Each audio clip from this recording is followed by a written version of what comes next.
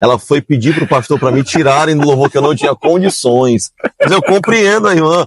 Ali começou a tua história com a música. Mas tu já tinha aptidão antes que, disso? Não, eu era muito musical. Nada, cara. Deus, Deus, ele teve misericórdia de mim.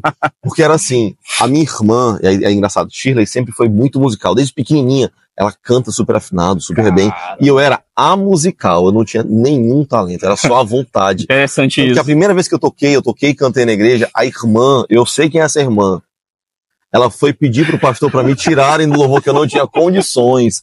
Mas eu compreendo a irmã. É porque era muito ruim. Era tão ruim assim, Era, cara. muito- era desesperadamente ruim. E aí eu andava, que isso aqui era só mata, era só terra. Bem naquele canto ali na farmácia Vitória, Eu morava sei. um senhor, era- tinha um comérciozinho, esse senhor tinha uma doença, não lembro o que era, mas as pernas dele ficavam bem machucadas tal. E ele tocava, e ele tocava muito bem. E aí eu, eu perambulava o Parque Vitória inteiro com um teclado de brinquedo que eu tinha, importunando qualquer um que soubesse qualquer coisa. Enchi muitas vezes o saco dele ali,